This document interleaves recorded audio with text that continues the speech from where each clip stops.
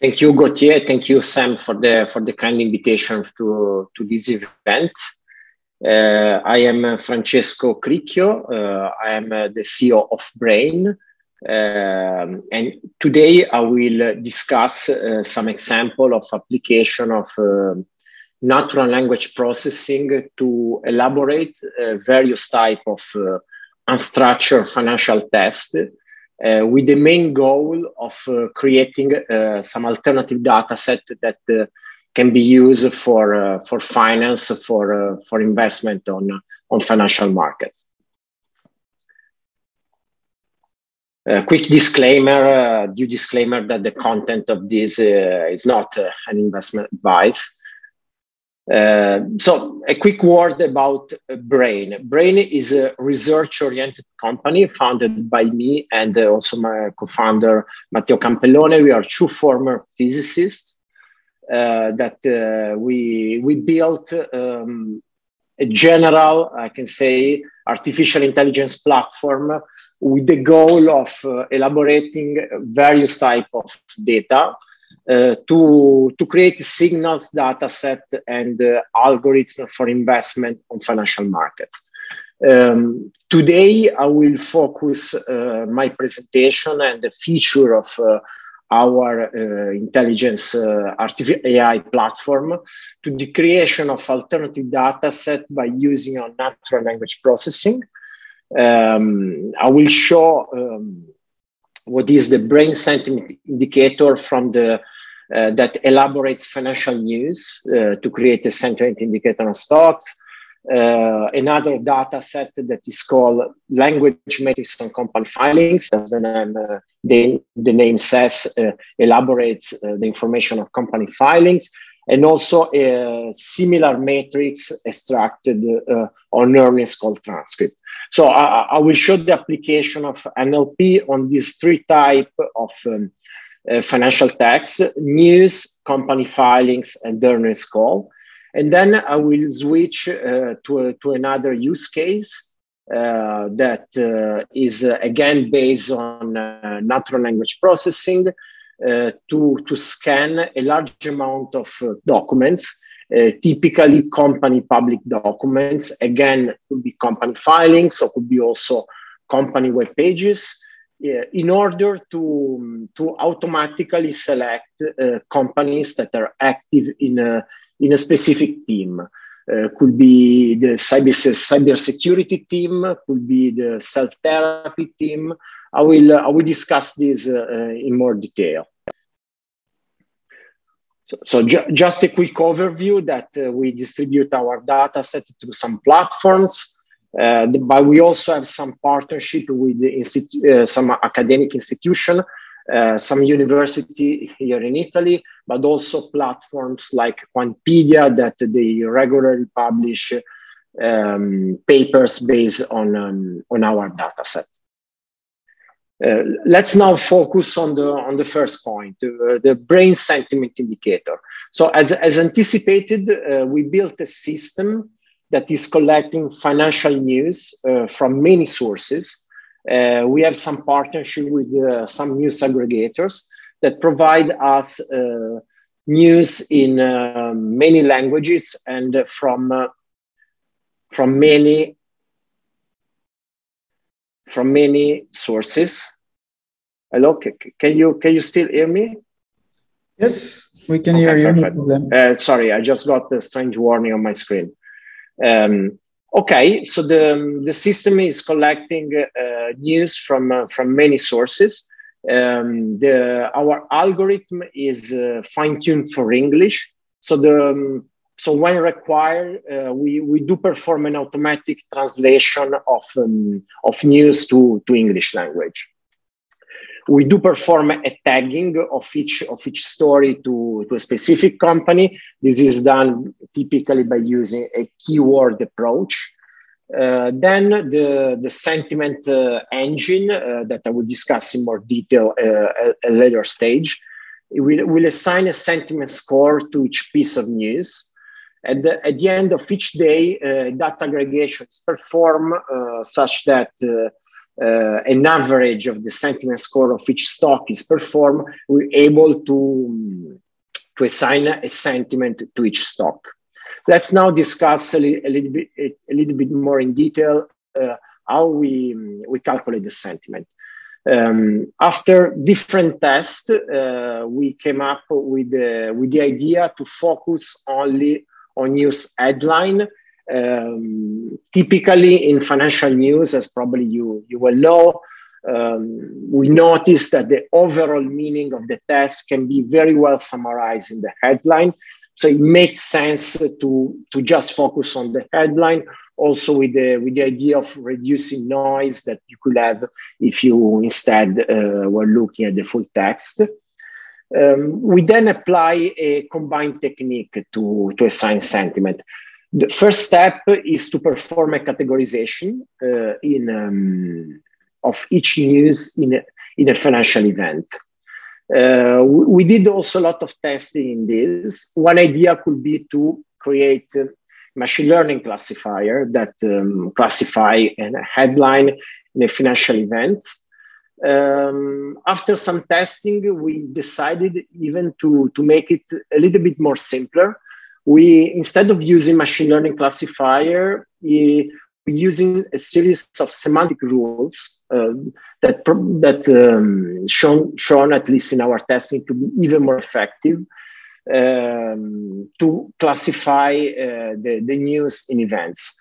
Uh, let's make some example. It could be that the company gets a new patent, uh, or uh, the company gets a profit warning, um, by you can be, you, you can build some some rules like the presence of nouns plus the presence of specific uh, sorry uh, plus the presence specific um, verb in order to assign uh, the story to a specific event with a predefined value of sentiment.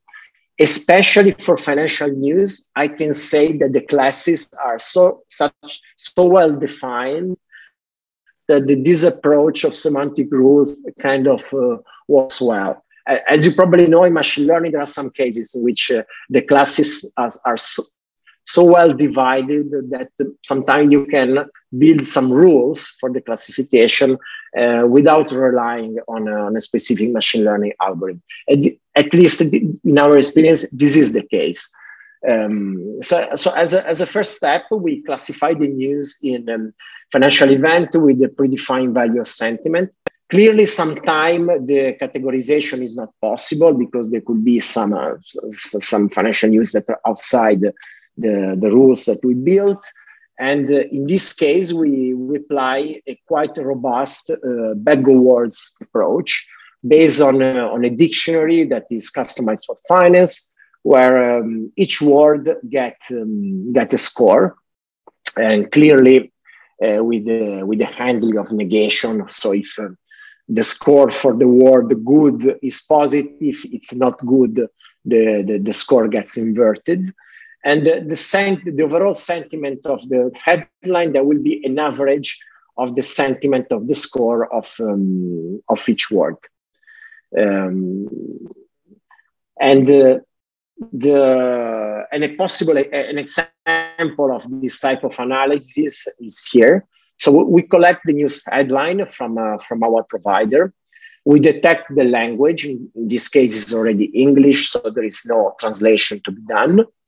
Uh, we, we identify some information about the source. We tag the news to the financial asset. In this case, is the Brent, the Brent oil. So we identify this key Brent and we do perform the, the tagging. In this case, there is no uh, classification possible. So we use the dictionary-based approach. Um, some uh, bias word are removed from the sentence, could be the name of the asset, for example. Like here, you see that we, we remove the, the, the, the, the tag of the asset Brent. And then we assign a sentiment score by looking at the individual score of each word. Like in this case, for example, bearish is a typical negative word, and not surprisingly, the, the news get a negative sentiment on a scale between minus one to plus one. Uh, another operation we do is also by looking at similar news because typically uh, a, a, story or an event gets repeated by more than one source. Uh, so in this case, we do, we perform a clustering. Uh, here, it's a, we identify two story with um, discussing the same event. Uh, we decided not to simply multiply the sentiment score by the number of repetition uh, because mm, in, especially if the news is repeated many times, it can lead to kind of overweight of, of the sentiment. Uh, but we, we adopt a nonlinear scheme. Like um, in this case, uh, for two repetition, the overall weight is not two, but is 1.2. So a, there is a kind of a uh, non-linear weight that scale with the number of uh, story, but uh, it's simply not multiplying uh, the sentiment score by the number of repetition. Uh, let's also spend some word about the, the volume of news. Um, a feature of our dataset is also how many news are published for each company. Um, I this this is interesting, but there is one, one, has to keep in mind that there is a linear dependence uh, between the the number of the stories that have been published in a certain interval and the size of uh, of the company. Like here, I'm plotting the the, the volume of the stories in, within a month, uh, logarithmic scale with um, uh, as a function of the market cap of the size of the company. And clearly, you see a very linear dependence. The, the, the largest the company, the more news are published. And uh, uh, clearly, the, there are the largest uh, number of stories published for Apple. So this does not tell much. Uh, but uh, one, one idea is then to introduce, uh, in order to, to, to, get a little bit more information from the volume, a kind of normalized volume, uh, like here, that we, we call it buzz. Uh, buzz is expressing uh, the, the level of attention of companies getting compared to, to the normal. So it's a, it's a number of standard deviation uh, of uh, news volume, volume compared to the um, to the average of news volume of the past six months. So, so it's, it's a kind of normalization of volume such that you can detect uh, which company is getting uh, the highest attention in the media. Uh, by, and this will not be possible just by looking at the news volume. Another um, another indicator that could be could be interesting um, that uh, I'm discussing here is the percentage of uh, not neutral news. Uh, I mean, uh, among all the news published, how many have uh, are polarized, have a positive or um, or negative sentiment? We notice that uh, if something very bad is happening for a company, like in this case of China Evergrande Group, typically there is a high number of polarized news with the negative sentiment and the high buzz. Uh, normally, most of the published news are in the neutral zone. There are a lot of news discussing event like uh, next week a company is releasing earnings or next week will be an event with the not neutral uh, sentiment. But in this case when there is uh, something negative happening, uh, it's interesting to know that the news they polarize much towards the negative with uh, with high buzz. I mean, with a high variation of uh, news volume compared to the volume average. What I was going also to show in this graph uh, was uh, some plot of some stock of the sentiment of some stock to, to give you an example of of uh, some sentiment uh, and uh, how this sentiment behave in this case during the pandemic for different sector. Like you can see for example that uh, was Salesforce that uh, cloud-based service that uh, kind of was not affected during the pandemic. So the sentiment was stayed positive also during those months while, uh, while on the contrary, uh, the sentiment of uh, United Airlines, the travel sector, was very much affected by the pandemic. So he quickly switched to, to negative already in, uh, in February 2020. So I, I, hope this was clear. So this was um, a first example of uh, application natural language um, techniques applied to financial news to extract a data set that can be used uh, by financial investor to, to build a strategy or as a discretionary tool to monitor the financial news flow or of, of a specific stock. Uh, let's provide now uh, a discussion uh, on, on another application is the is the application uh, of language metrics, so the extraction of language metrics on company filings. Uh, what are company filings? Company filings are some reports that US stocks, by, by law, they have to, to create, and they discuss various aspects of the business.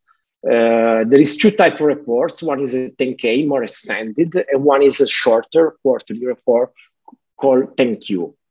Uh, the idea of this analysis came from some uh, some some papers that uh, they're claiming that there are some inefficiency in the market response, some delay in the market response uh, between the publication of those reports that are quite complex and long and the price response of the stock uh, to the information that is contained in those reports. Uh, also, those papers, they argue that uh, this uh, delay might be due to the fact that th those reports have increased in complexity, in length during the past years. Uh, and in particular, they focus on a specific metric that is called similarity, uh, where you compare the last report to the previous one. And if you look, uh, you look at change of similarity. So if the language is changing a lot, uh, those those uh, works they're claiming that something bad is happening to the company, meaning that uh, the the business is not so strong. The, the, the regulator, the, the, the author of the report is disclosing some information that uh, might, might signal some possible anomaly in the stock. Uh, and let's maybe let's provide an example uh, to, to clarify this. Uh, this is taken from um, one paper that is called uh, Lazy Prices. Uh, I mean, also the title uh, is related to the fact that uh, the, the, author claiming that the prices prices um, react in a lazy way to, to the information contained in those reports. So the, the, they show a company that is called Baxter. This is a healthcare company um, that in um, the beginning of 2010 filed a report, a 10K report, where uh, they were discussing uh, some, some points about uh, one of their products that is uh, an infusion pump, is a healthcare product.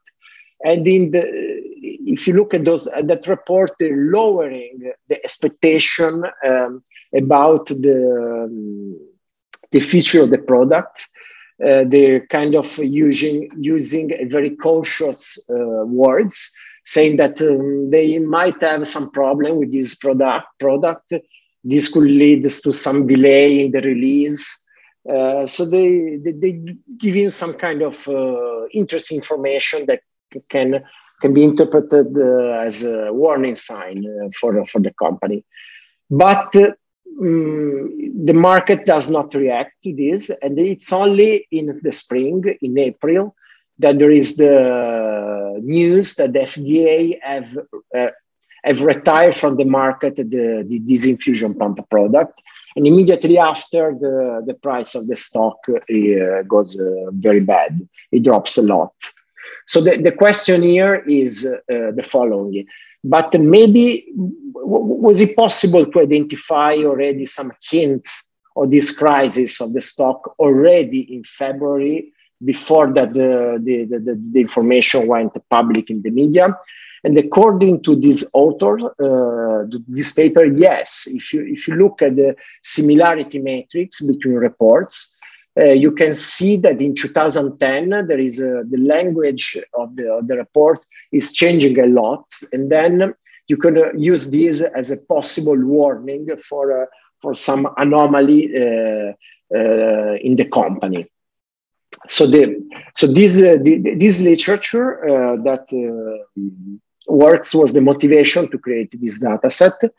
Uh, in this specific data set, we calculate some language metrics of, of, of each report, uh, like we extract the financial sentiment, but we also look at the percentage of words uh, for a different type of financial domain. For example, we, we look at the litigious language uh, uh, word, how much constraining language is, is present in those reports. And then, as I said before, we also we look at the differences report. We look at the differences of metrics, that could be the delta of sentiment, but we also calculate these similarity metrics, uh, typically calculated as cosine similarity between documents.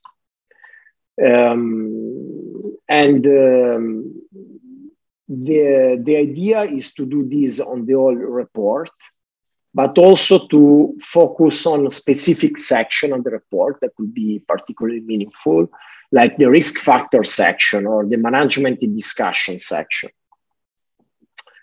Um, again, here the workflow is similar to the one on the sentiment. We collect the data on a daily basis. We calculate, perform the calculation. At the end of the day, we perform the aggregation in order to release uh, features for approximately 6,000 US public stocks. This is a snapshot of the data set in which for each row you, you get the ticker, the date, uh, and the various feature of the data set. How to use those features? I mean, one first idea could be to order the stock according to each feature taken separately. So for example, you could order the stock accordingly to the percentage of constraining language contained in the in the text of the of the last uh, 10k report. If you do so for example we, we find an interesting use case which we show that the um, first quintile corresponding to the stocks that uh, are showing uh, less constraining language is overperforming um, in a kind of order way uh, by each quintile. The, the, the quintile five uh, that correspond to the stock that uh, contain more constraining language in the, in the report. Uh, so this, this is the first idea how to use the data set. You can order the stock according to various feature uh, and do some statistical analysis uh, on the on the stock performance. Uh, like here, we look at the Sharpe ratio on the overall period. You could also look at the Sharpe ratio on a monthly basis. Uh, you could do some t-test uh, compared to the difference between the Sharpe ratio on a monthly basis and the Sharpe ratio of a benchmark. Uh, but you can also combine the various features using some machine learning classifier um, probably this is more interesting because uh, you can you do it also you do you do should do this in out of sample manner. Um, in this case we built a machine learning classifier that is trained on um, on two classes. Class zero uh, that correspond to, to to stocks that uh, in the next quarter uh, we choose quarter because the, the, the, time scale of the feature here is typically quarterly because these are quarterly reports. So a class zero corresponding to the fact that the stock in the next quarter is going to under, underperform the median of the all stock universe, or class one corresponding to, to the fact that the, the stock uh, in the next quarter is over, overperforming the, the median of the universe. Uh, so these are these are the target. Uh, you can use the data the dataset feature as a feature.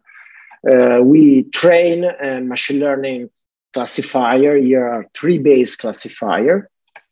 We do train them um, in an out of sample manner, meaning that uh, we we start to train them in 2005 to 2010. Then we evaluate performance on 2011 we, we do it in a subsequent, on subsequent intervals. Uh, if you collect together all the out of sample prediction, uh, if you do perform this statistical analysis on the various quintiles, it's interesting that you see that the quintile five corresponding to the stocks that are predicted by the, the model to be the one that will outperform the median with the highest confidence is definitely outperforming the quintile one uh, corresponding to the worst predicted stocks. Um, so, the, so, so here I show two steps. Uh, one is the creation of the, of the data set, and one is a possible way to combine the feature data set to create uh, a first step of, um, of um, investment strategy. Um, another interesting financial test that is uh, interesting to analyze are earnings call. Uh, we then apply a similar strategy, a similarly a similar procedure of metric extraction to this earnings call. Earnings call uh, are conference call uh, that are held by manager of the companies on a quarterly basis uh, to present uh, the business of the company and also the, some result. Is a conference call uh, with uh, some analysts. So you get the presentation of the manager, the, the, the question of the analyst, and then you get the reply of the manager to the question. So there are basically these three sections. So first of all, uh, we look at the overall sentiment of the earnings call, and and we compare to the to the overall sentiment of company filings. As expected, since the earnings call uh, are company events, uh, while and company filings are re- regular to the report, where the companies by law is needed to disclose details, earnings call are much more positive in sentiment. So on a scale from minus one to plus one, as expected, the, the manager in earnings call, they use more positive words. They talk in a more positive manner about the business compared to comp- company filings. And this effect is even more clear. We only focus on the management discussion section, uh, where we get uh, also uh, a larger uh, percentage of positive words and uh, the lower percentage of negative words in the management discussion. Again, here we calculate um, various type of metrics on the on uh, on these three section on the earnings call, uh, from the percentage of litigious words, but also what's the lexical richness, measuring what's the variety of language uh, the variety of uh, vocabulary used uh, by the by the by, by the the managers. Uh, and then we also focus again on the similarity. Uh, we compare the last earnings call with the previous one, uh, with a similar philosophy to what we did for the um, for the company filings. Again, here we try to build a use case. This is a work in progress. Uh, here we have a first result looking at the sentiment. We order the stock uh, from the most positive sentiment to the most negative sentiment. And it seems that uh, the stocks with the most positive sentiment are, um, are showing uh, higher performance uh, than the stocks with the most negative, with the, with the more negative sentiment in the, the management discussion. Again, also here you could combine the feature using machine learning classifier is something we are, we are working on. Let's finally discuss one, uh, one final application uh, that is not a data set with some feature uh, obtained from NLP as uh, discussed before, but is more like, uh, I would call it uh, a service uh, with the goal of selecting using natural language processing of, uh, of companies that are active in, um, in a specific team. Uh, the objective is to provide to an investor that would like to invest uh, in a, in a predefined team. It could be the drones sector or could be the 3D printing domain. A list of companies um, with a regular frequency that are active in, uh, in those domains using uh, artificial intelligence, using natural language processing, applying to a large amount of company public documents, such that the analysis is automated, uh, you save cost, uh, you get uh, less trivial companies because uh, the system is looking at a very large universe of companies. Um, and uh, how to do this? So first of all, uh, you should build some uh, classifier uh, analyzing the sentences of uh, company public documents. How to train the, you should train the classifier uh, to, dis to distinguish, to classify sentences of um, that are discussing a specific theme. So could be sentences discussing cell therapy uh, you can train a classifier using scientific papers uh, discussing the cell therapy, even Wikipedia pages uh, that are uh, explaining to, to the general world what is cell therapy.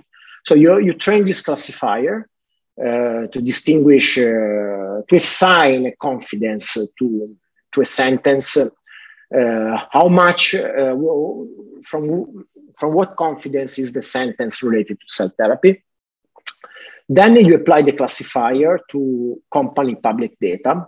Could be the business description of company filings, or could be company web pages. Then you come out with a relevance score.